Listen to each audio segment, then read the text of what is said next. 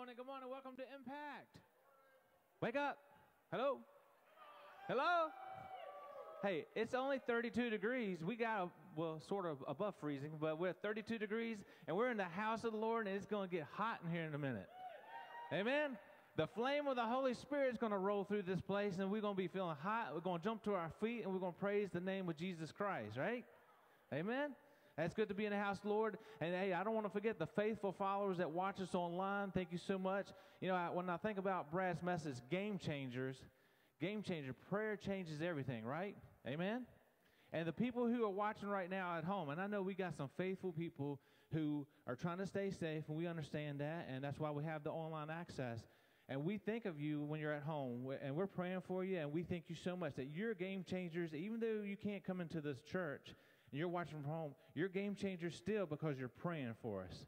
So keep praying for us wherever you're watching at. We love you. We miss you being in the, uh, the church house, but we understand and we're praying for you as well. So just uh, think about that. And uh, we're all the body of Christ, right? Wherever we're at, we're worshiping, we're coming together, and we're glad to see you here this morning. A couple things before I forget. Jim Scott, uh, he's still looking for life group leaders, people who want to get involved, get trained, and, and maybe host and have a teacher come in and teach. There's different ways to do that. But see Jim Scott at the end of service back in the corner where the Christmas tree is. So go back and see him to get more information about that. Uh, you see this awesome shirt I'm wearing, right? This awesome shirt, right? So if you ordered one, there's sweatshirts and all, go back and see Silas at the end of church. He's at the tech table. So go back and see him at the end of service. If you ordered one, they're here, so you can go pick that up. Who watched the game last night? The game, right? I just say the game. We're not, we're not talking about Arizona Cardinals. No, no, we're talking about the Liberty Flames. Whew. And that's a, that was a heart stopper. Uh, I, I, I, Hugh Freeze had to have some prayer warriors on his side, right? Because he, I'm sorry, Hugh Freeze, if you're watching this, you made some bad calls.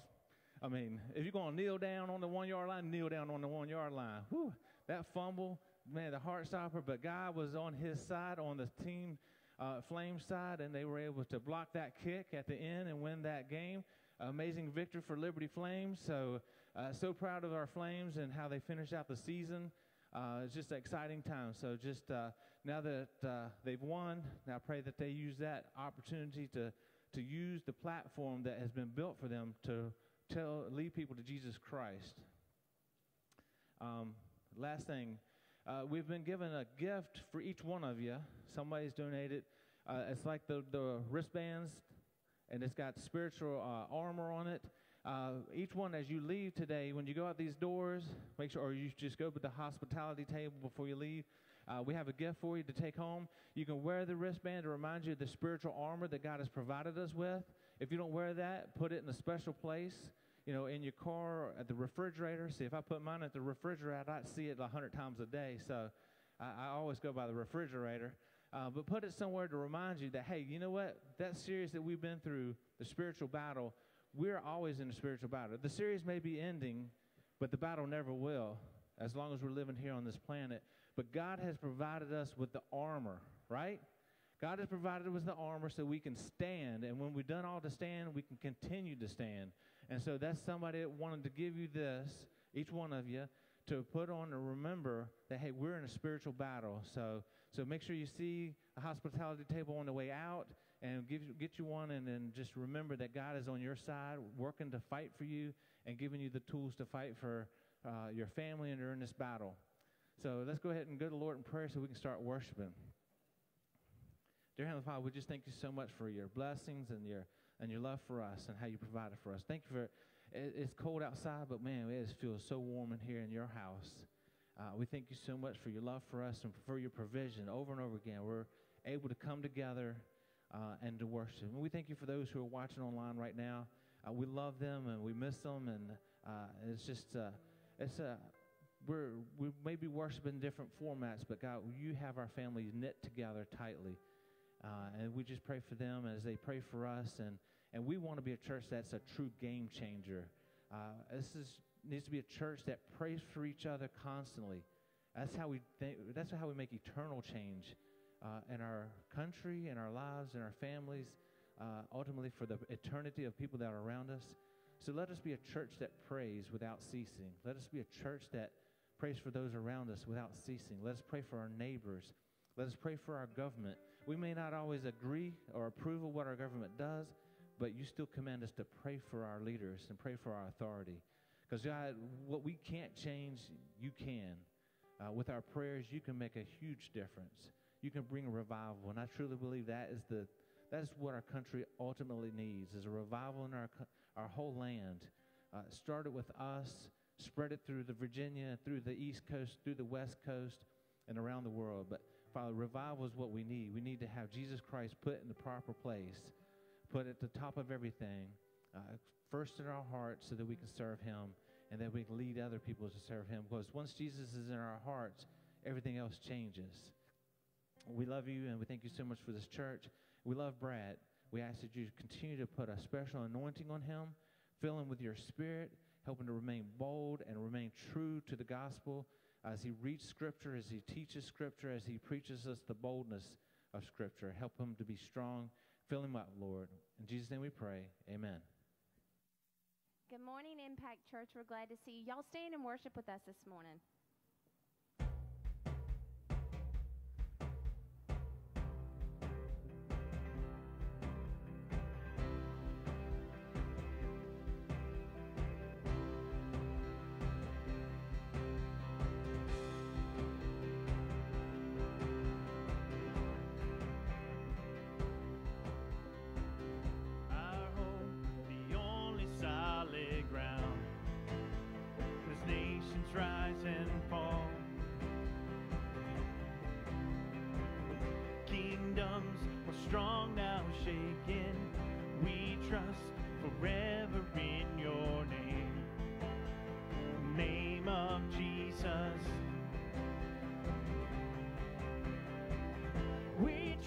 in the name of Jesus.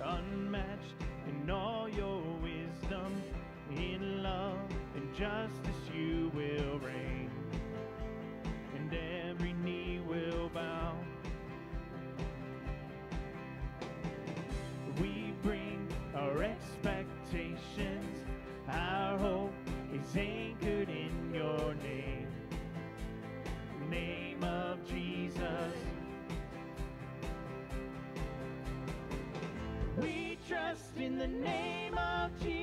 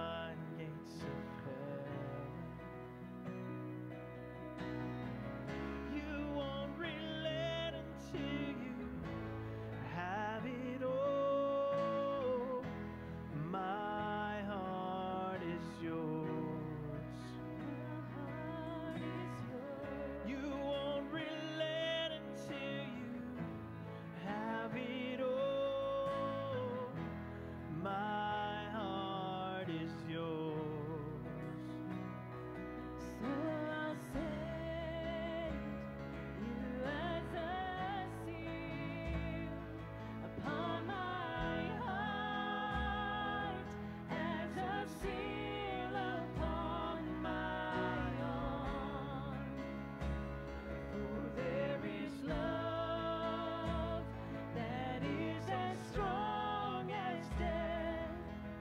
Yeah.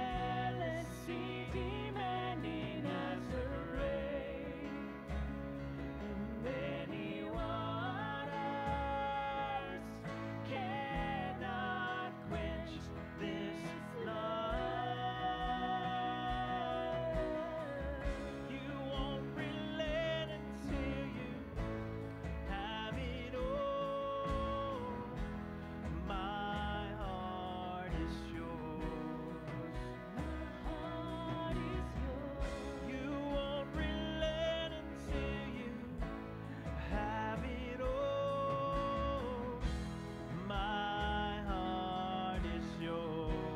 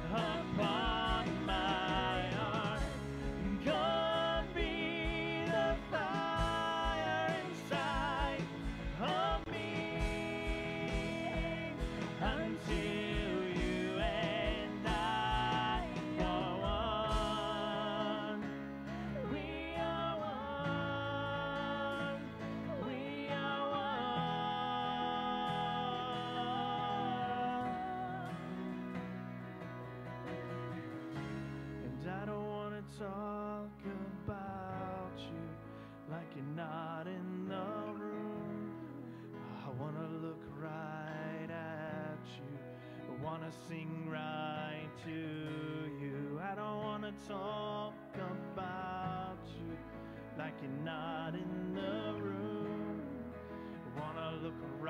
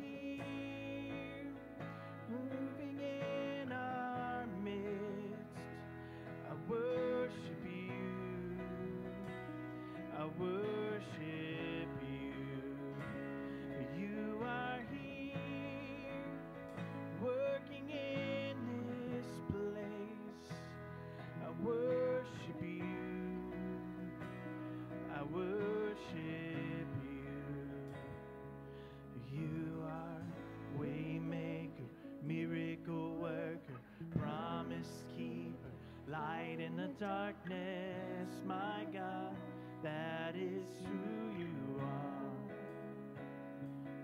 You are waymaker, miracle worker, promise keeper, light in the darkness, my God, that is who you are. You are here, touching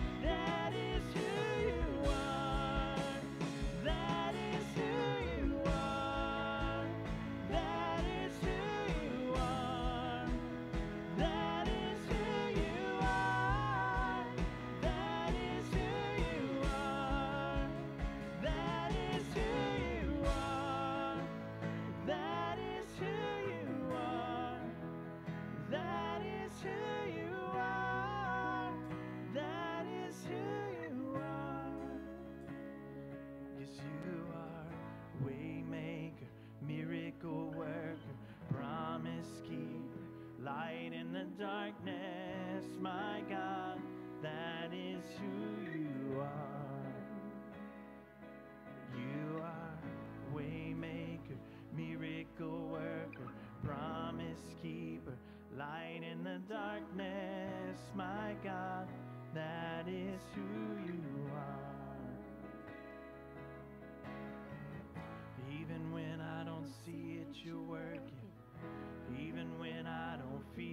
you're working.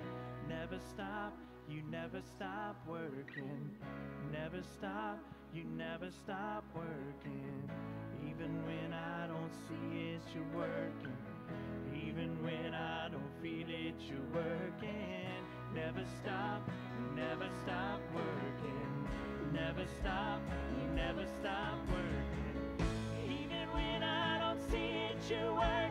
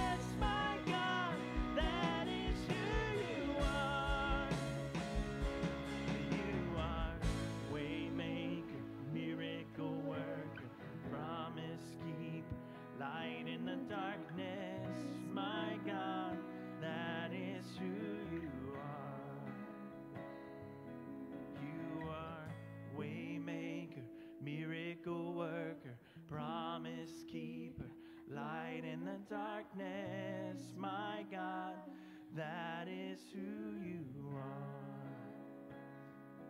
You are waymaker, miracle worker, promise keeper, light in the darkness, my God, that is who you are.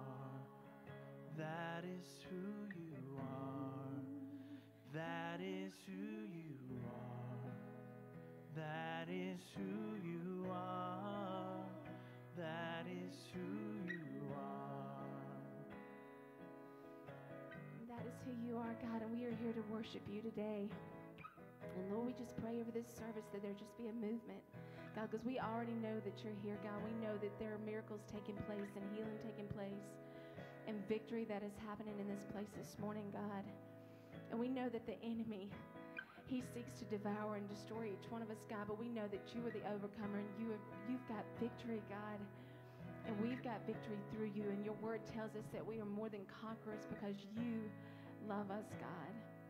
And God, as we are still celebrating some of this Christmas season, God, that we know that you sent your precious Son Jesus to die on a cross for us, to be born in the flesh, God, to just serve, to serve us, God, and to be that that sacrifice for us, God. We just we are so thankful and humbled by that, God. And we just come here today to worship you.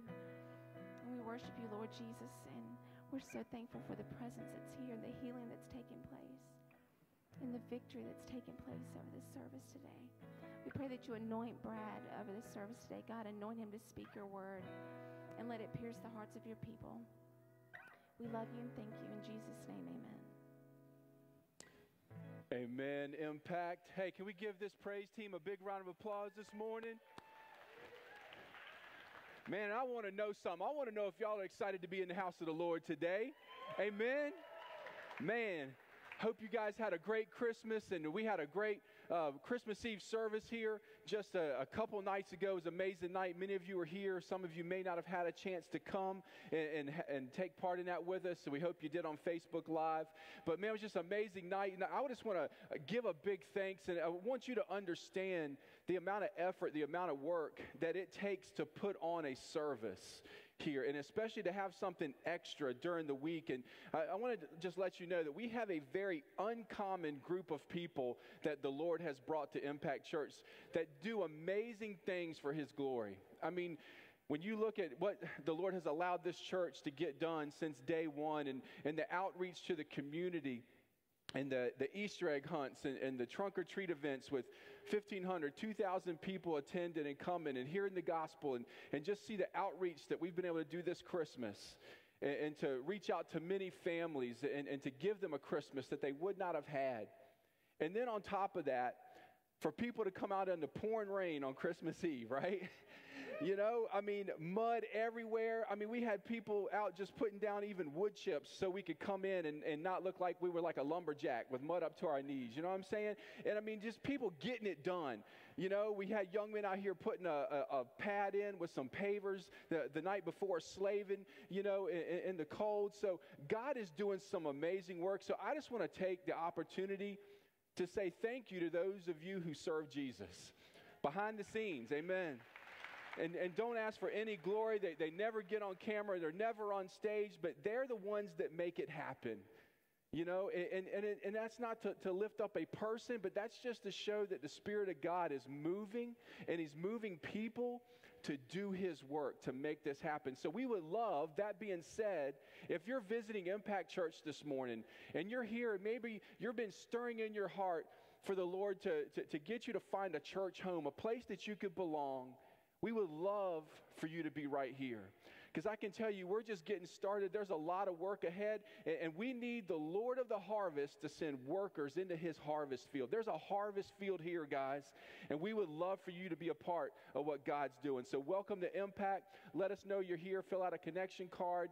Um, meet us after the service, something. We'd love to know who you are, pray with you as you find a church home.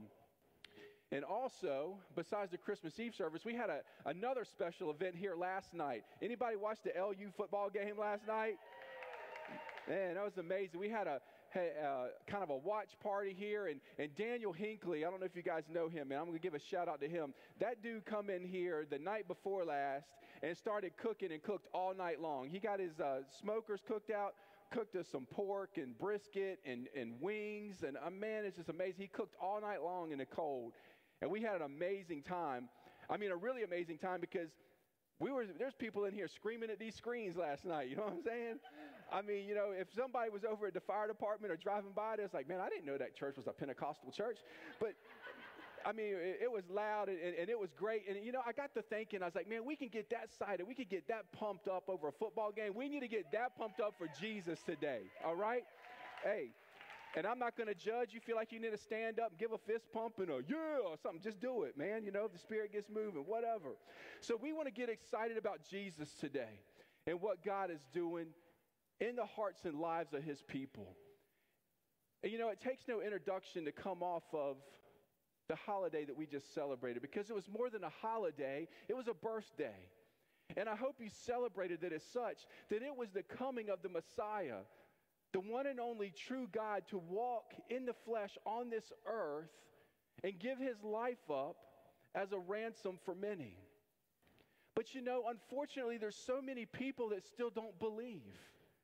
There's people out here today, and maybe at the sound of my voice on Facebook, or maybe you're here today visiting, and maybe it's your first time in church in a while, and you're still wrestling with the thought of, of, of is God real, and, and who is Jesus, and can I believe all this? And can I really put my life and my faith and my hope and my everything in this story of a child who was born some 2,000 years ago? Some people still wrestle with who God is. And you know, and, and it's not anything really new or, or uncommon for people to, to wrestle with things and, and, and believe in things, maybe at times that they don't even see. I mean, when you look, there's a lot of things through history that people have tried to explain the reality of. A lot of mystical things, even like unicorns and mermaids, the Loch Ness monster, things that really don't exist that people have tried to prove that are debates and explanations go on, and, and, especially at the time was when science was taken forth on gravity and, and trying to explain gravity and what that phenomenon was on this earth. How about just the very earth itself and its shape? That at one time, did you know that people thought the earth was, was square? And then this concept came that no, it's actually round. And it's like, what? And people pushed back against that and didn't believe it and fought against it until proof was given. Some people even believe in things that have never been proven, though, to exist or that they've never seen with their own eyes. How about the legendary figure Sasquatch? Bigfoot, right? Did you know that 20% of Americans believe Bigfoot is real? There's even some people, some claim to be grown men, that go around their whole life trying to find this sucker. I mean, seriously. How about ghosts? I mean, and I'm not talking about angelic and, and demonic spiritual forces that we know are biblical and that are real. I'm talking about actual physical ghosts, you know, like Casper. And that's like you see, 46% of Americans believe ghosts are real. Seriously. How about UFOs, aliens? 50% of Americans believe aliens are real, although 20% of those people have never even reported to seen an UFO or an alien. And many of the people that have seen them were influenced a little bit too much by Jack Daniels and Hennessy. But yet people still search out these things that they've never seen and put their belief in things that maybe don't even exist. It was interesting when I was studying and looking at this that 65% of Americans still believe in God, that God exists.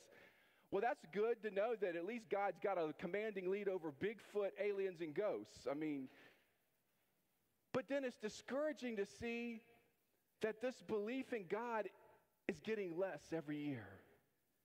Less and less people are saying they believe in God, and actually, more and more people are saying they believe and aliens, ghosts. How long will it take before that's completely flipped? What are people putting their belief in? Does God exist? Does he? The Bible claims, of course, that God is real and he's the one and only true God, but then it goes a step further.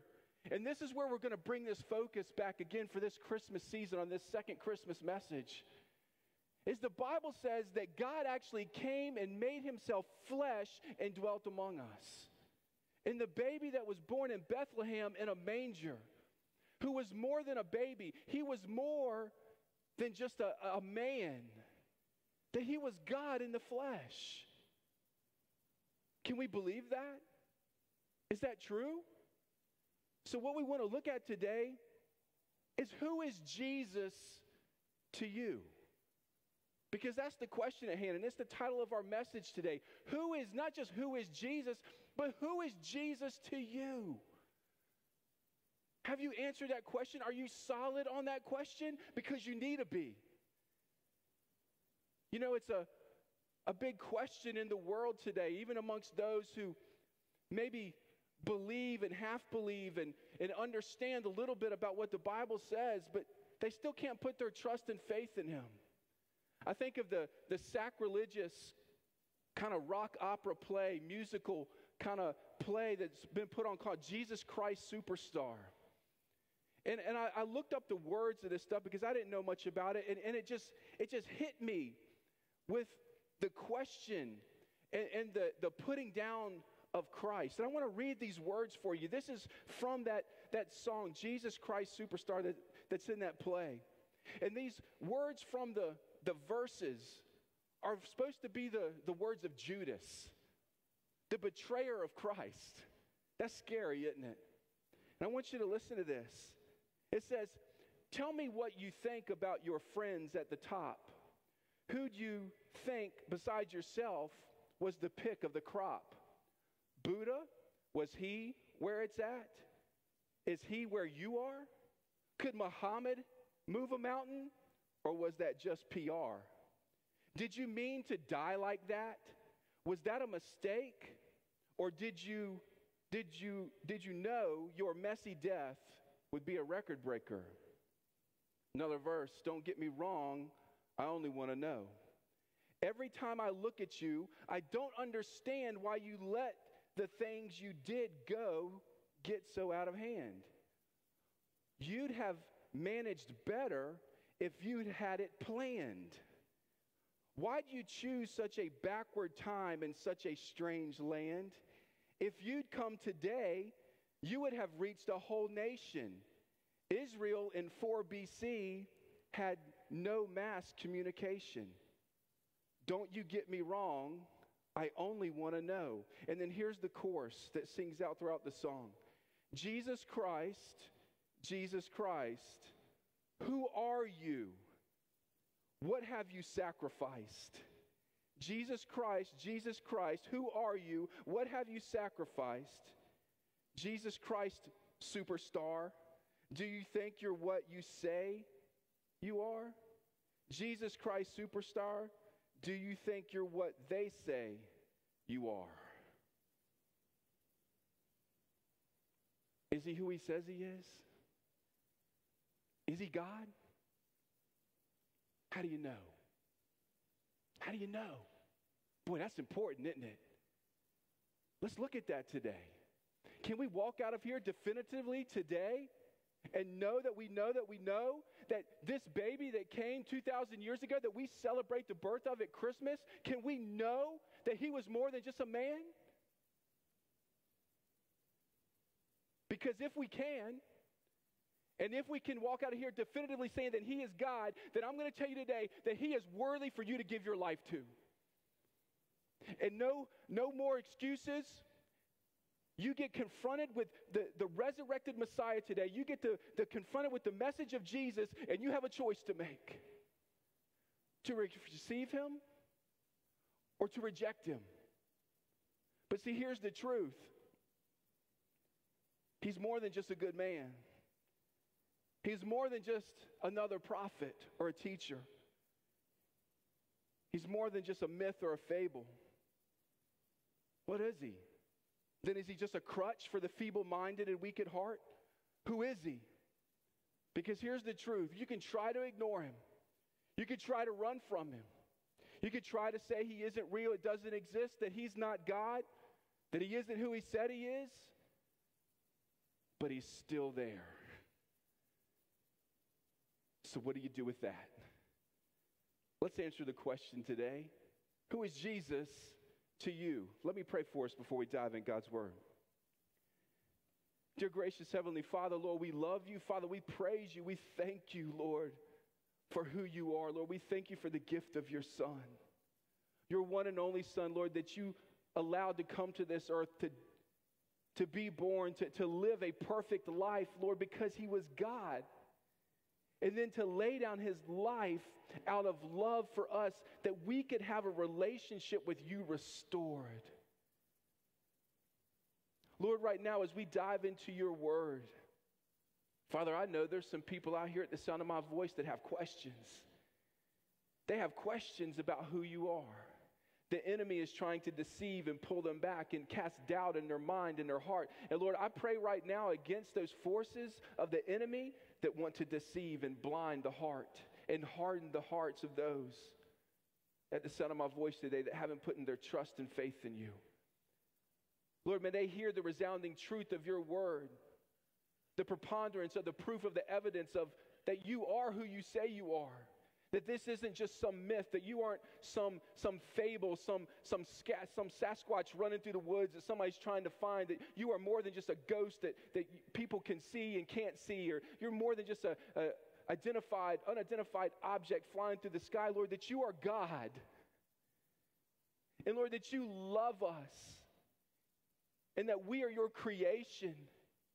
That means you have the blueprint to our life, Father. You knew us in the womb before we were even born. Lord, I pray that everybody at the sound of my voice today would hear and understand that message. And Lord, that if there's anybody here that has not surrendered their heart and their life to you, Lord, that today would be the day of salvation. Lord, if there's anybody here today that's just been playing games with you, that's just been coming to church, Lord, that's just kind of believes in you, but they haven't put their trust, their faith, their life in your hands, Lord, that they would rededicate their life to you, that they would get on fire for you going into this new year. And Lord, that you would do a work that only you can do by the presentation of your word right now, Lord. We give you the glory. This is your place, this is your word, these are your people. Lord, Allow them to give you their life. And we're going to praise you for everything. In Jesus' name, amen. Turn with me, if you have your Bibles, to the book of Matthew. We're going to be in chapter 16. And I want to read a passage of scripture that brings about a scenario where Jesus is with the disciples and brings about this very question that we're talking about today. Matthew chapter 16, verses 13 through 17. And the Word of God says this When Jesus came to the region of Caesarea Philippi, he asked his disciples, Who do people say the Son of Man is? They replied, Some say John the Baptist, others say Elijah, and still others, Jeremiah or one of the prophets. Jesus responded, But what about you? He asked. Who do you say I am? Simon Peter answered, You are the Messiah, the Son of the living God. Jesus replied, Blessed are you, Simon, son of Jonah, for this was not revealed to you by flesh and blood, but by my Father in heaven. You see, that last part's very important right there. You see, that this wasn't just some faith to be taken from the voice of man, by the understanding and wisdom of man. That this faith, that this belief, and this truth of who God is, and more importantly, who Jesus is today, is given by God. And we need to understand that. We're going to dig this out and we're going to look at that because we need to know what God says. And is His word true? And can we trust it? Can we trust His word today? You see, because the answer to the question of who is Jesus to you has to be answered. Has to be. Because of the claims that this Word of God and that Jesus Himself made about who He was. Because when a man that's prophesied about hundreds of years before he's even born comes to earth in exactly the way that was prophesied, lives the life that he was prophesied to live, dies the way he was prophesied to die, does miracles and things on this earth that no man could comprehend, understand, or explain, and then claims to be the only way that you can find salvation and go to heaven, then you better answer the question is he true or not? And you better know that you know. And not have a question that the enemy could slip in and bring doubt with, like he does so easily. Our young people that leave churches today, it's astronomical how the percentages that leave the church, that once they, they get out of high school and they go to college, that they leave the faith. A lot of times becoming brainwashed by liberal professors and, and, and professors who don't believe in God and, and trust only their infinite wisdom and their humanity of intelligence. And they get drifted away from the faith because they didn't have a solid anchor foundation on who Jesus is. So you need to know that today. Moms, dads, grandparents, young people, are you solid on who Jesus is? Or could you be talked out of it by somebody who seems really smart, has a bunch of degrees, writes a bunch of papers? Could you? Here's the truth that we want to see and know today is who Jesus is. And what we what we need to understand about this is it does not matter what our opinion about this is. I mean, gravity.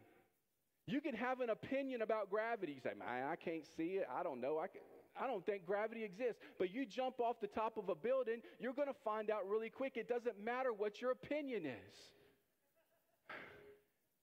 And the same's true with God because one day a day is coming where you're going to draw your last breath.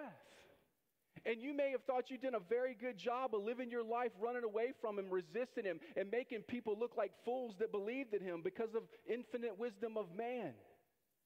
But then one day when you draw your last breath, you're going to be confronted with the reality that Jesus is real. And the Bible says every knee will bow and every tongue will confess. But then if you don't do that before you draw your last breath or before Christ returns, as the Bible is unfolding before our eyes in our very nation and world today. And Jesus could come back at any moment. Are you ready for that? Are you ready to meet him? Do you know that he's real? Because it's not an opinion, because the, the claims that Christ made are either absolute truth or it's an absolute lie. There is no in between, there is no middle ground. And we're going to look at that today because this is the hour of decision. Because I'm going to tell you, you're never going to be the same today after this message.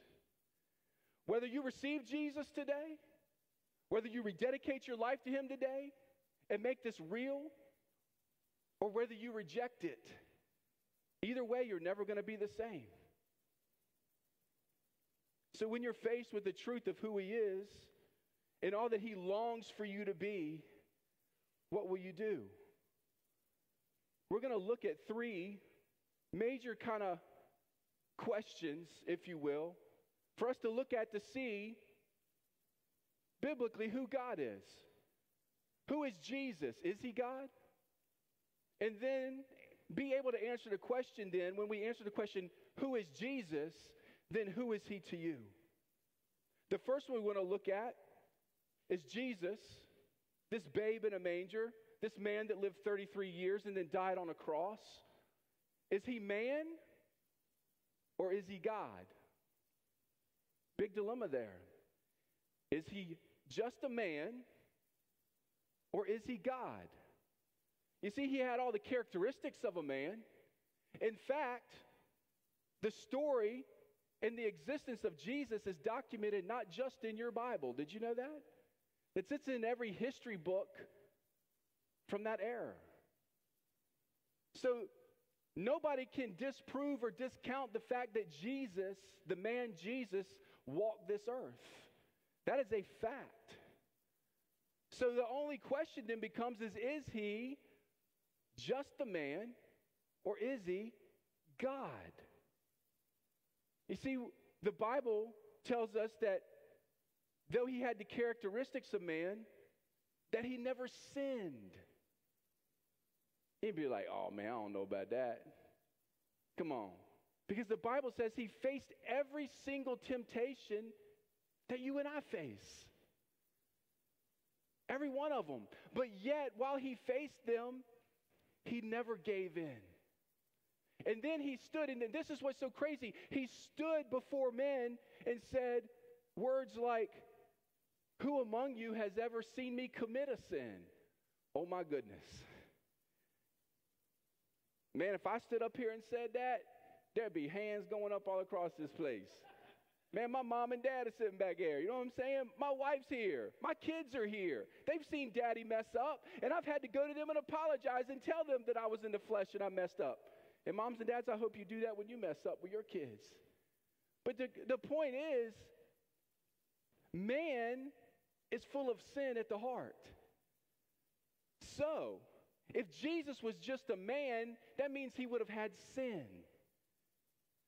That in order to be completely free of sin, he had to be God. So there's our first claim. So, how do we show it? Well, when he said, Which one of you have seen me commit a sin, they couldn't say anything. Nobody could blame him or cast blame for him on anything. And in our passage, we see Jesus ask his disciples here Who do people say I am? Gave all these reasons. John the Baptist, Elijah, Jeremiah, one of the prophets. But Jesus got to the point, he said, Man, you know what? It really doesn't matter. I don't care what anybody else says I am. Peter, who do you say I am? So, the question today from God to you and each and every one of us in our hearts is I don't care what everybody else says. I don't care what mainstream media says. I don't care what the professors in the liberal university say. I don't care what Jesus Christ superstar says. My question to you today who do you say I am? What would you say? You see, the truth is, Jesus didn't claim to be just a man, he claimed to be God. That's why they crucified him. He went to the cross basically for three main reasons the only things that they could find against him and accuse him of. He said he loved sinners. He said that, you know what? Said that I'm God. He healed people on the Sabbath. That's it. You kill a man for loving sinners, healing people on the Sabbath, and claiming to be God. They couldn't find a single thing he had ever done wrong, guys. I want us to get that. Even amongst the people that hated him the most at the time, and there's a lot of people today that hate him. They hate even the mention of his name. You can mention any other religion, you can mention any other lowercase God, but you mention the name of Jesus and the fangs come out. You mention this Bible and standing on the truth of this word, and people call you a bigot. And people start to, to cast you out. You can hold up the Quran, you can hold up anything else, and people will praise you. But you hold up this word of God and you say Jesus, and you now become an outcast in this world. But will you stand anyway? We just come off that message too. You can go back and listen to that bad boy. That's good stuff. Because this is what we're talking about. Will you follow the crowd? Will you follow the wisdom of man? Or will you follow the truth of God and who He is? Because I want to tell you today, your soul and your very existence hangs in the balance. This isn't an answer to a question you can get wrong and get a do over, hit reset. One chance is it. Who will you say He is? He claimed to be the Son of God, which means that he had to be the second person of the Trinity, of the triune God God the Father, God the Son, God the Holy Spirit. which means that if he is God, that he must have pre existed as God. I want you to get that concept. In other words, that his first day of existence wasn't the day of his birth. Look at John chapter 1, verses 1 through 14 with me. John chapter 1, verses 1 through 14. The Word of God says this says, In the beginning was the Word, capital W. And the Word, capital W, was with God. And get this, and the Word, capital W, was God. He was God in the beginning. Through him, all things were made. Without him, nothing was made that has been made. In him was life, and that life was the light of all mankind. The light shines in the darkness, and the darkness has not overcome it. It's tried. There was a man sent from God whose name was John. He came as a witness to testify concerning that light, so that through him all might believe. He himself was not the light, he came only as a witness to the light. The true light that gives light to everyone was coming into the world. He was in the world, and though the world was made through him, the world did not recognize him. Oh, that's huge. He came to that which was his own but his own did not receive him.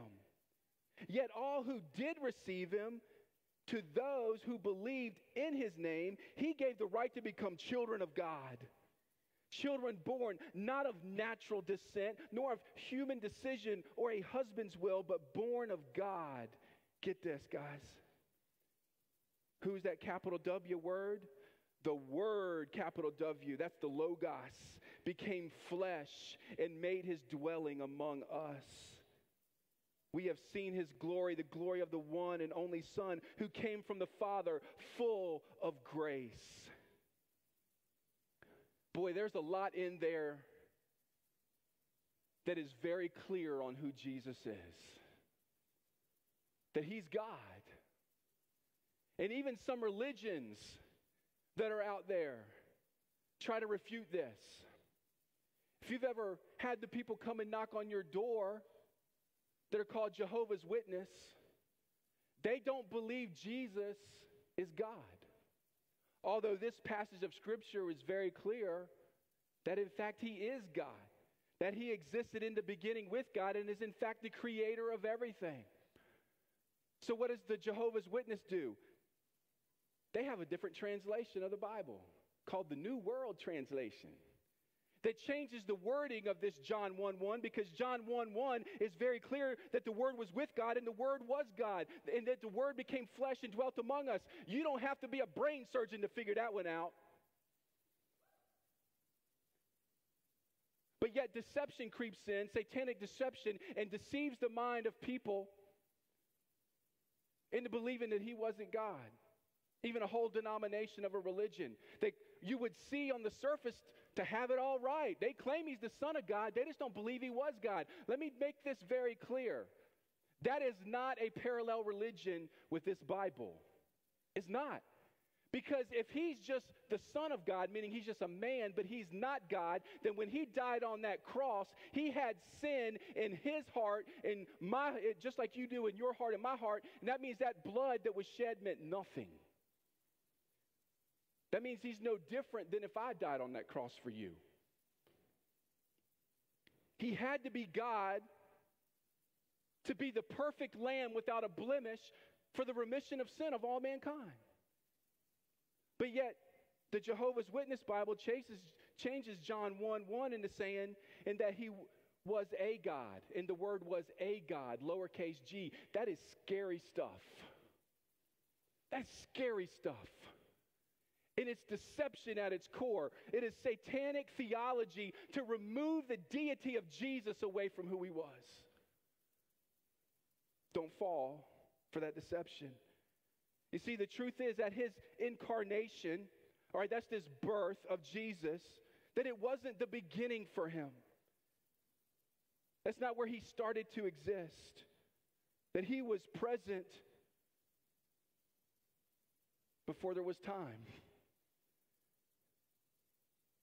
And even in the midst of all that, he knew your name. I want you to think about that for a second. The Bible says that before you were even born, before you were formed in your mother's womb, he knew you. Before your mom and dad knew your name, he knew your name. You are that special to a holy God. And to restore fellowship between you and God for eternity, he came and laid down his life. That's the story of the gospel. But is it real? Can we trust it? You see, this whole Bible talks about this Jesus coming as Emmanuel. The word Emmanuel means God with us. Guys, that's huge. God with us. Every other religion, their God, their lowercase g God, is, is, supposedly unattainable to have a relationship with. That you have to try to do things to, to please your God. You have to, to, to do things for your God in other religions. And, and the, the difference of Christianity, the difference of Christ, it's about what God has done for you when He laid down His life for you. And that we're justified through faith and not of works. There's a big difference in that. This promise of God with us means that God came to earth and took the form of a man. He manifested himself out of love, leaving heaven's glory, coming to earth. Hebrews 1 3 tells us that Jesus is the radiance of God's glory and the exact representation of his being. That's huge. It's the presence of God among us in Christ Jesus. And you might say, well, man, that was 2,000 years ago. He ain't with us no more. Oh, yes, he is. Because what happened at his death, proving that he was more than a man, three days later, he rose from a grave and, re- and presented himself to over 500 people. I want you to get that. 500. Proving that he is God, that he rose from the grave, showing himself as alive, resurrected. There's a big difference right there from any other religion. Because every other person of every religion, Buddha, Muhammad, they have a grave too. But there's bones in that grave. But there's a tomb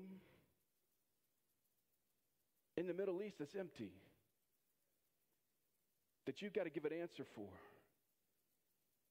That he was more than just a man, that he was God.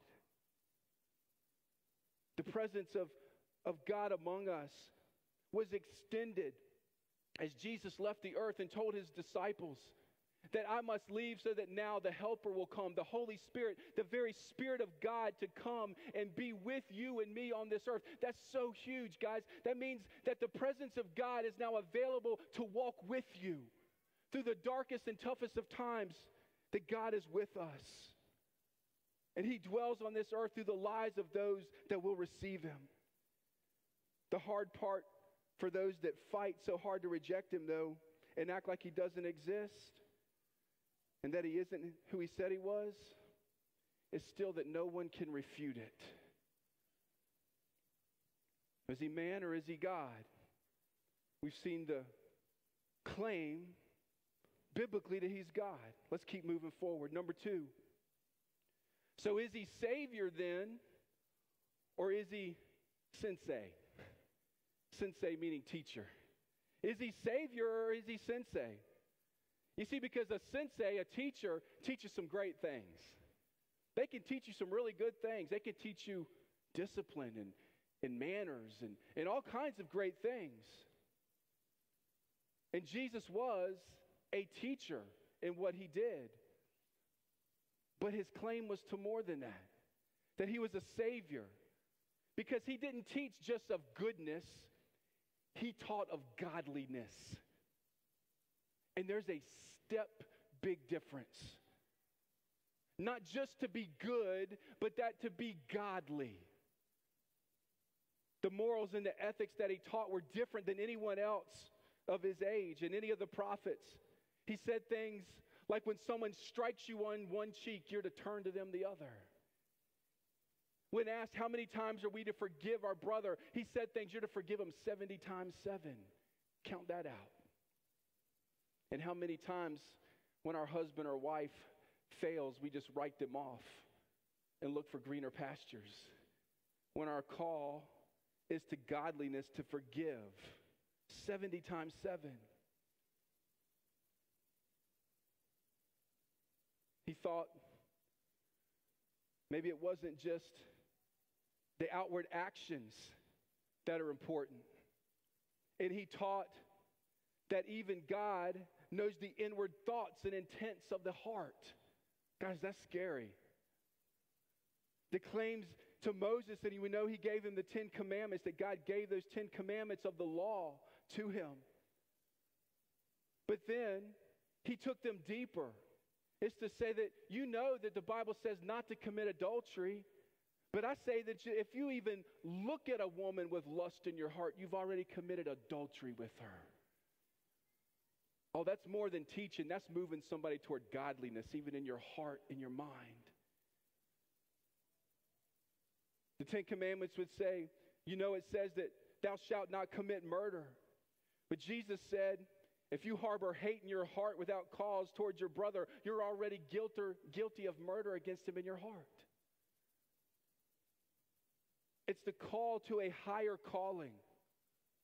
He lifted these ethics and expectations of man to the highest level, demanding that we live the kind of life that he himself lived. Be holy as I am holy, the Word of God says. And that's impossible in our flesh, in our humanity, but it's only possible with the Spirit of God, Emmanuel, God with us. Because he promised to put this very Spirit of God that he had in your heart and in your mind, so that now you and I have the power to overcome the cravings of our flesh. And apart from him, we're helpless. That's what the danger of sugar coated preaching is, guys. It's dangerous. The sugar coated preaching that only puts forth God as just love and just mercy and just grace. And that's all true. That's all of who God is. But all that does is make God out to be an idol. Somebody here that's just here to help you, here to make you feel comfortable. And that's dangerous preaching allows people to somehow believe that they're okay to still live in their sin and have Jesus too. And that is contrary to the Word of God. But we preach even in, in, in evangelical messages that, that somehow God's this, this comfort that, that you need, that, that He's just only here to help you make your, make your walk through this life comfortable and pleasant. And is that true? I mean, Jesus said, In this world you will have trouble, but take heart, I've overcome the world. Jesus said, They're going to persecute you and hate you because they hated me first. That doesn't sound very comfortable to me. But yet, people only run to the altar to seek comfort when they don't come to seek the Savior when they fail to realize that in their humanity that through the because of the law that was placed in the 10 commandments that it shows how short they've come in meeting God's expectations. Even with what we just talked about where Jesus said it goes more than the actions it even goes to the thoughts and intents of your heart and your mind. You see because if you were on a plane and I told you there was a, a parachute underneath your seat and you need to put it on and you'd be like, why? I thought the plane won't going down. I think it's supposed to stay in the sky. And I told you, nope, at some point it's going down. Nobody knows when. So here's your parachute. But if I told you to put this parachute on, and I didn't tell you that it was just to save your life, I told you put this parachute on because it was going to make you feel more comfortable during your flight. You'd be like, okay, that sounds good, like a good deal. And you put this parachute on, but maybe things didn't go so comfortable during the flight. Maybe the guy beside you stunk. Maybe the stewardess come down the aisle with the hot coffee and trips and spills it all over your lap, and you've got scalding hot coffee burns all over your body. And you get entirely frustrated, and you stand up and you take this parachute off, and you be like, man, that's a lie. This thing didn't make my flight better at all. And you take it off and throw it down because you were told a lie about what the parachute was really for. The parachute wasn't to make your flight comfortable, the parachute is to save your life. But because you took it off, because you got frustrated when the flight wasn't comfortable and the plane goes down, now you die. Change that to the, to the real truth of the gospel. I want you to put this parachute on because at any moment this plane could go down and you're going to need it to jump off this plane and save your life. It's the only way you're going to survive. So now you're sitting there with anticipation, knowing that you're safe, that at any moment when the plane goes down, that you're alive. It doesn't matter that the dude beside you stinks. It doesn't matter that the steward has spilled coffee all over you. It doesn't matter that everybody is taking up the bathroom and you can't get to the bathroom and you're sitting there really uncomfortable. None of that matters anymore because you know you have it. And then when the engines shut off, you know you have life. You see, because in the midst of the flight not being comfortable, you didn't take your parachute off because you knew that's what, what it was for, baby. Anybody getting a message today from the Lord? Jesus, Savior, not just for your comfort in this life. It's to save you from the depravity of your heart that separates you from a holy God for eternity. Have you ever broke the Ten Commandments? You ever lied? Not a person here can say they ever haven't. Even if it's when you were young, you've lied before. You ever stolen? Yeah, guarantee you, everybody here has stolen something, even small pen, pencil, piece of gum when you're a kid. So, what does that make you? You're already a liar and a thief in God's eyes. You ever committed adultery? Be like, whoa, nope. Jesus said, You ever done it with your eyes and your mind and your heart? And a lot of men here would say, Oh, even women. You ever committed murder? Nah, man, never done that. That makes me better than a lot of people. Oh, Jesus said if you've ever harbored hate in your heart against somebody, you've already murdered them in your heart. Oh.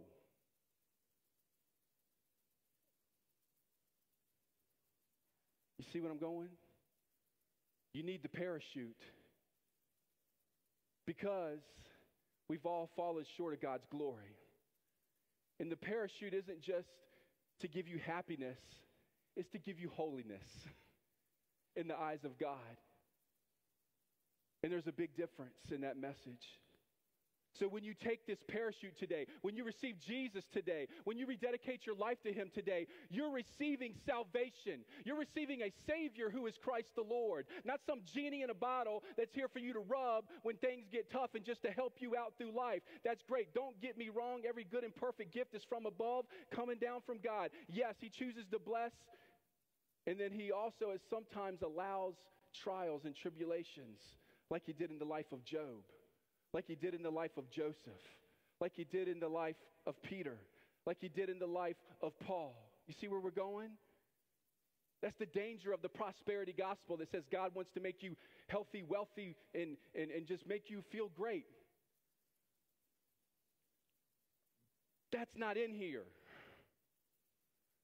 What is in here is for you to stand strong, for you to persevere, for you to put your heart and trust and faith in the one who has come as Savior. Galatians 4 4 through 7 says, But when the set time had fully come, God sent his Son, born of a woman, born under the law, to redeem those under the law, that we might receive adoption to sonship. Oh man, that's beautiful. Because you are his sons, God sent the Spirit of his Son into our hearts, the Spirit who calls out, Abba, Father.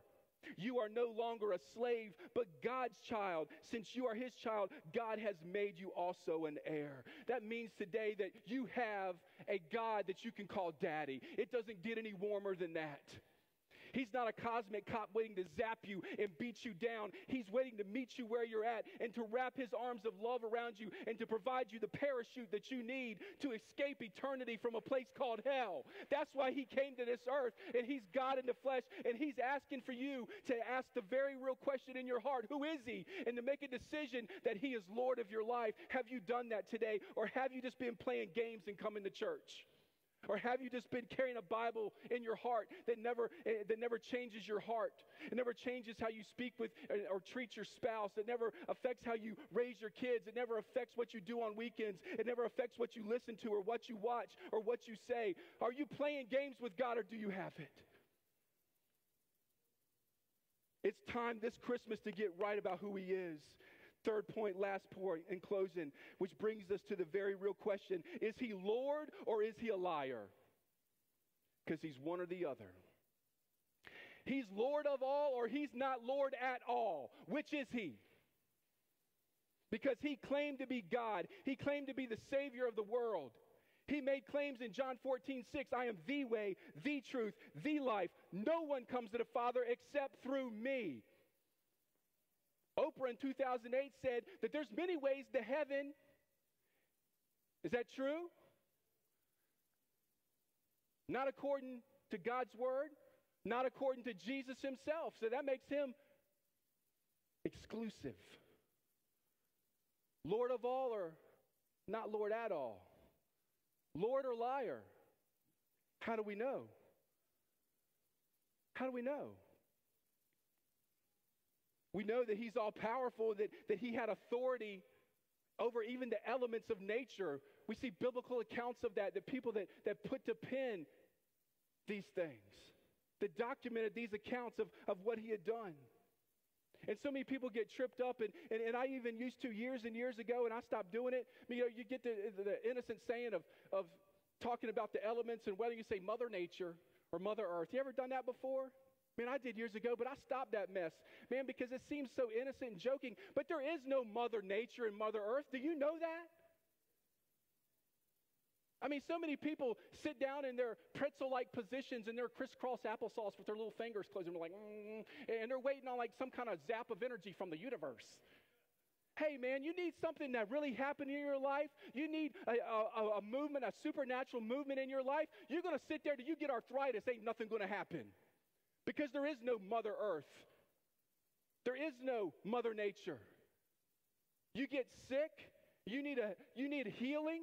You get to the point in your finances and in your heart where things are going astray, and you need a supernatural divine hand in your kid's life or in your marriage or in your home. Go hug a ponderosa pine. Let me know where you get the next day. Because the truth is, there is no Mother Nature, Mother Earth. There's only God the Father.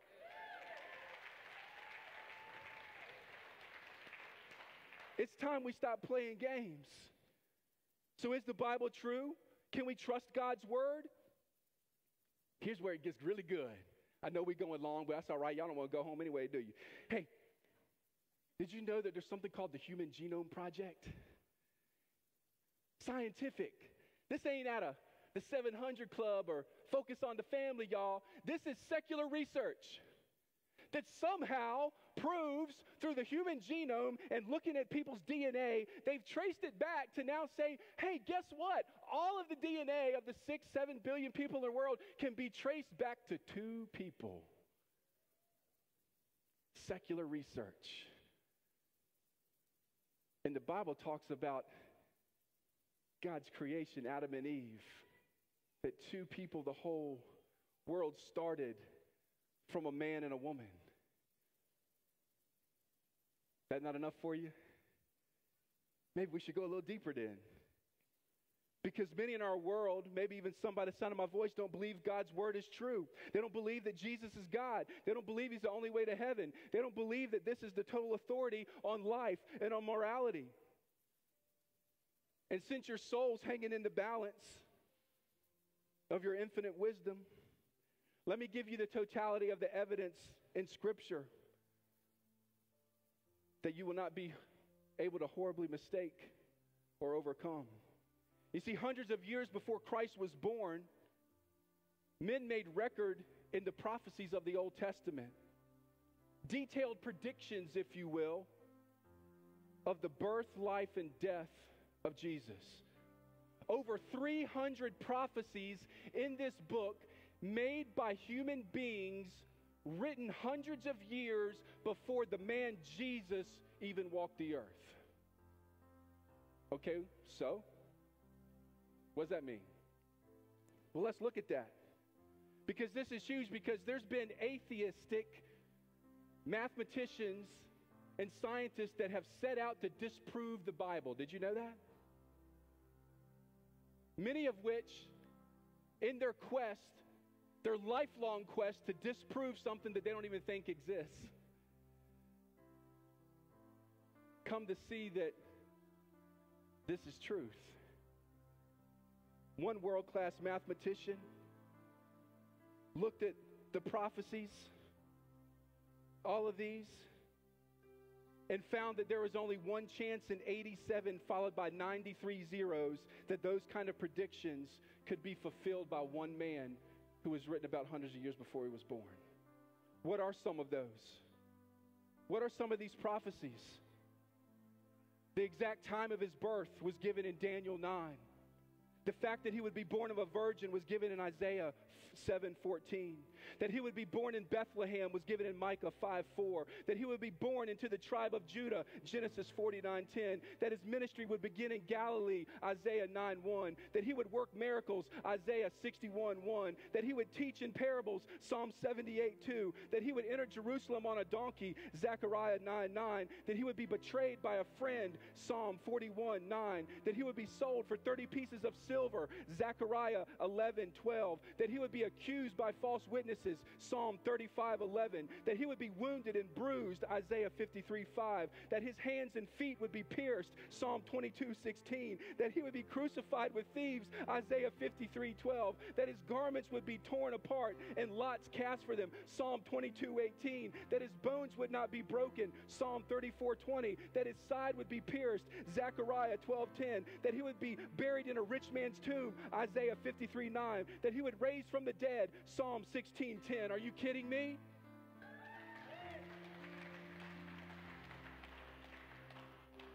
The chances for you to win the lottery are 1 in 175 million. Would you bet your life on one ticket? Would you? If I said, I'll, I'll pay you ticket, just give me your life. One chance. One in seven. One in 175 million. Give me your wife, your kids, everything you own, everything. I want everything, even your life. Would you take the chance for one in 175 million?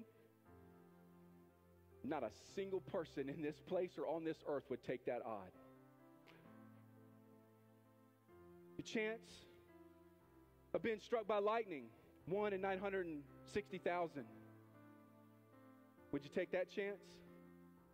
Stand out in the middle of this field out here, holding a 10 foot metal pole in the middle of a lightning storm? Would you? People still don't take that chance. One in, 100, one in 960,000. Those are pretty good odds. What do you mean you're not going to take that?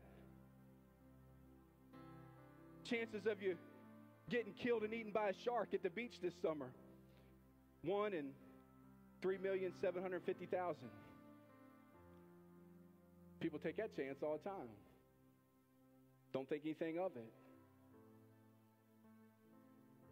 But a guy named Peter Stoner, world class mathematician, has come and done the math for you.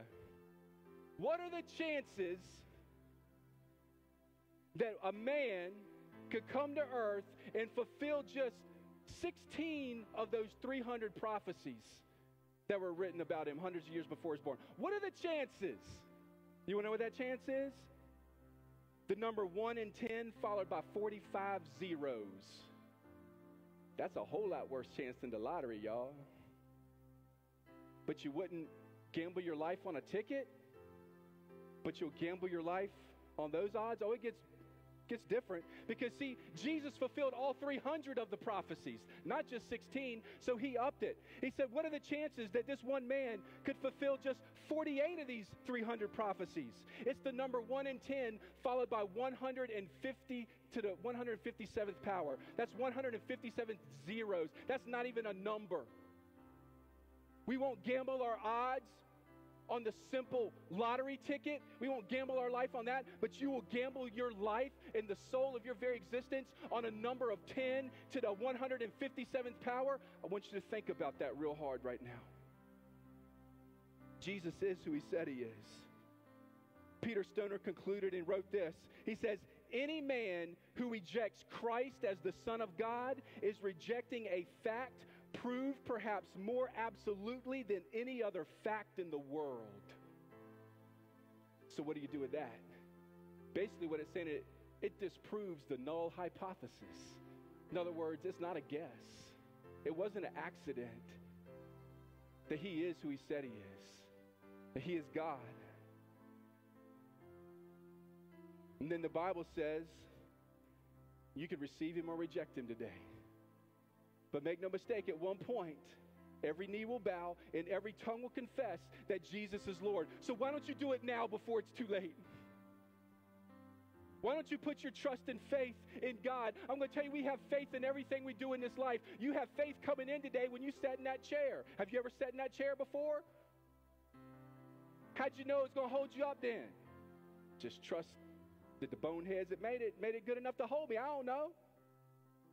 You have faith every time you get in your car and drive that the people who worked on that vehicle and made it didn't mess things up so that the wheel falls off when you're going 70 mile an hour down the highway and throws you into a tree and kills you. You have faith and trust. You have faith every time that you get on a plane that the pilot's been trained and he knows and is competent on how to fly the airplane. Did you ever go check his credentials before you got in the seat? And did you ever go look for his diploma and his certificate? You have faith when you sit down, don't you? You have faith every time you go to the doctor and get a surgery that he knows the difference between a tonsillectomy and a hysterectomy because there's a big difference. And you have faith and trust that He's competent and knows as He cuts open your body and examines and pulls out things and fixes things and sews you back up. You have faith every time you go to the pharmacist to fill a prescription that a doctor has written some squiggly lines on that look like a chicken has scratched all over it, and you put that in front of a man's face, and he goes back and mixes chemicals and gives you pills to go home and says, Take this twice a day. That's faith. Now take that same faith and put that faith and trust in Jesus today. Give him your heart and give him your life because he is who he said he is. And there's no escaping and no running away from it. That he is God and he loves you and he's come to give you life because he was more than just a man, he is God. Like a man, yes, he was born in a manger, and his mother had to wrap him in swaddling clothes to keep him warm. But like God, prophets told of his birth hundreds of years before he was even born. Like a man, he worked by the sweat of his brow as a carpenter, and, and he felt pain, and, and he sweat, and he hungered, and he thirst. But like God, and only like God, he healed the sick. He made the blind to see, the deaf to hear, and he called the dead man out of his grave when he said, Lazarus, come forth. Like a man, they put the crown of thorns on his head, they put the nails in his hands and his feet, and they pierced his side, and he cried out, My God, why have you forsaken me? But like God, and only like God could do, he chose to stay there on that cross, knowing that at any whisper, at any snap of his finger, he could call thousands of angels with swords drawn to slay every man and person right there and to free himself on the cross. But he chose to hang there because he loved you so much, because he is God. Like a man, after he was crucified, they took his cold, dead body and they placed it in a tomb and they sealed it with a stone, saying, We're not going to have to hear from this man anymore. But like God, and only like God can do, like prophet said he was going to do hundreds of years before he was even born. On the third day, he rose from that grave. Why? Because he's God. And in that victory over hell, death, and the grave, he is now offering you that same hope, that same victory if you will receive him. He said to all who will receive him, he gave the right to become a child of God. You can call him daddy today. You can enter the family and the, and the fellowship of God Almighty, the creator of all heaven and earth, because of his son Jesus, who came in a manger and was born to die. Will you put your trust and your faith in him right now and not trust the wisdom of man who tries to say he is not who he said he is? Let's bow our head and close our eyes right now. You change when you confront Christ. You change when you confront Christ. You do. When you confront this message, whether you receive Him or reject Him, you're going to change today. The rich young ruler who confronted Jesus, and Jesus gave him the truth of how to be saved. And he said, Give all your possessions to the poor, take up and come follow me. And the Bible says he went away dejected, depressed. He changed because he couldn't give his heart to Jesus. Think of Judas, who couldn't change, even though he was called out that one of you is going to betray me tonight. Almost an opportunity for Judas, for Judas to change, but he rejected that truth and he turned away. And he had to kill himself because he was so depressed. He rejected the Savior. And it cost him his joy, it cost him his life. But yet, you look at the people who were confronted, like Paul, on the road to Damascus, and he was struck down. And, and Paul yelled out, Who are you, Lord? And he said, I'm Jesus, who you've been persecuting. And at that, po- at that moment, when Paul was confronted with the very God of the universe, he obeyed and he went and had the scales removed from his eyes that had been placed on him, and he could see, and he gave his life to the gospel. Think of Peter, who was confronted with the resurrected Messiah. He had just denied Jesus in the face of men before the crucifixion, and now the resurrected Jesus comes to him and says, Peter, do you love me? Peter, do you love me? Peter, do you love me? Then feed my sheep. And when that happened, the man that had somehow denied him before men now gave his life for him, even being crucified upside down. I want you to think about that. You don't do that for a lie. These men had an encounter with the resurrected Jesus. You're having that same encounter today. Will you receive him or reject him? No more games to be played. Give your life fully and completely to Jesus and surrender your heart to him. If you've never done that today, I'm going to lead you through a prayer, and I want you to pray from your heart to God's heart and mean business with Him and get it right this holiday season before it's too late. Put your faith and trust in Him. You have faith in everything else. Put your faith in Jesus, who is God and loves you. You're here today, you say, Brad, man, I've walked in other church doors. I've heard this message before. I even had an emotional experience at the altar one day, but I've never experienced a life change, a heart change. I've never experienced that. And today I want to get it right. Or maybe you say, I've drifted away, man, life's been hard, and I, have run the things and, and tried to, to, to put things and idols in my life or, or turn to things for happiness that I shouldn't have. And today I want to come back to the cross and get it right today. I want you to pray that same prayer from your heart to God's heart right now. To receive Him for the first time and rededicate your life to Him, to say, Dear God, I'm coming to you right now, running to the cross. I'm admitting to you that I'm a sinner that I've fallen short of your glory, that I've messed up, and that as such I'm in need of you as a Savior.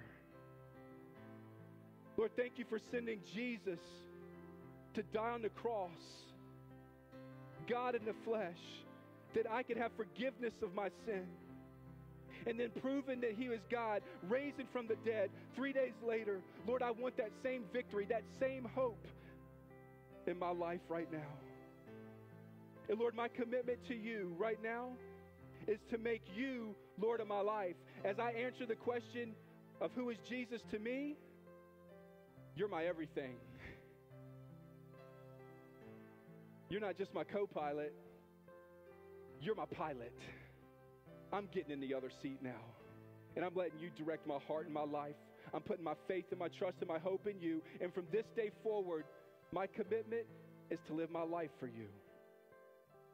If you prayed that prayer right now and you meant business with God and you received Him for the first time, I want you to forget totally the person around you, behind you, beside you for a moment. This is the decision between you and God. Don't let the enemy hold you down anymore. If you prayed that prayer, you meant business with God today, receiving Him for the first time or, re, or, re, or rededicating your life to Him boldly right now, unashamed. Raise your hand. Say, Brad, I prayed that prayer. I am not ashamed of the gospel. I am not ashamed of God. I am answering the question right now of who Jesus is to me, hands are up all across this place. If I don't see you, God does. Right now, we're going to close our service like we do every week here at Impact, and I know we're over. I, I know we're over. But I want to offer you an opportunity right now to put action with your feet to what God's done in your heart. Maybe you received Him for the first time today. Maybe you rededicated your life to Him. There's going to be pastors up here. I want you to come, let them know what God's placed on your heart today. Make a commitment that you're getting your life right with God today and you're not ashamed and Jesus is everything to you. And you need somebody to pray with you. Maybe you still have questions about this message, about who Jesus is, about who God is, about is the Bible true, please come and ask. We want to sit down with you. We want to have coffee with you. We want to have lunch with you. We want to answer those questions because eternity weighs in the balance. Maybe you're here today and you said, Brad, I've been looking for a church home that preaches the Bible like this, and I, I got to be here right now. I want my kids under this ministry. I want my wife, my husband under this ministry, and I want to join this church. Would you come forward as well? Maybe you've been coming here and you say, I need to get plugged in, I need to get serving, I want to take part in all these things you do for the community and for reaching people. We want you to come forward. Whatever the Lord has laid upon your heart, put action to it with your feet right now. Let's stand to our feet. Let's sing with all our heart. Let's sing with all our voice. Let's praise the Savior today. But ultimately, let's move on what God's putting on our heart. Will you move today? Will you answer the call? Come as they play.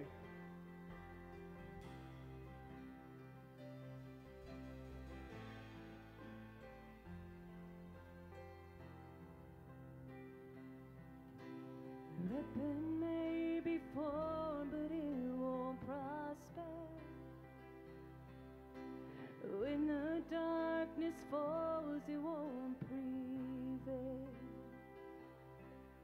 Cause the God I serve knows only how to triumph. My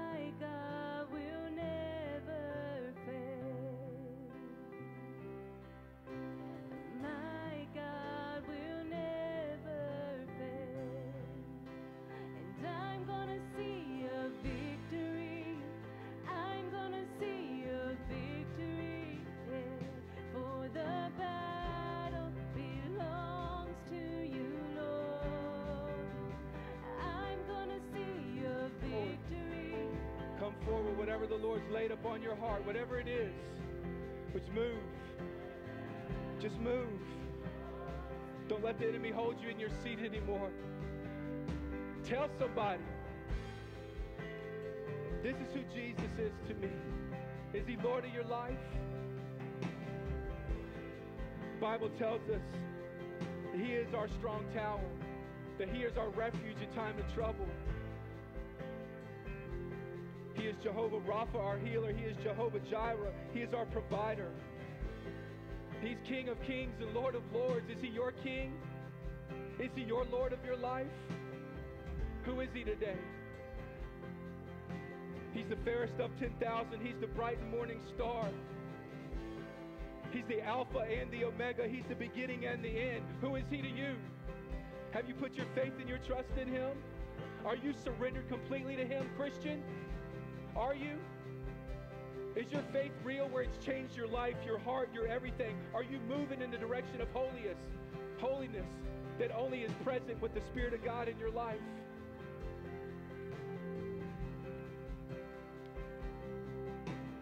Power